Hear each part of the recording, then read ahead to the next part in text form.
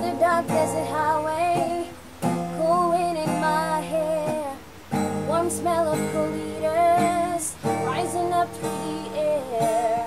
Up ahead in the distance, I saw shimmering light. My head grew heavy and my sight grew dim. I had to stop for the night. Then she stood in the doorway. I heard a mission bell. And I was thinking to myself, this could be heaven or this could. Then she lit up a candle and she showed me the way. There were voices at the corridor. I thought I heard them say, Welcome to the Hotel California. Such a lovely place.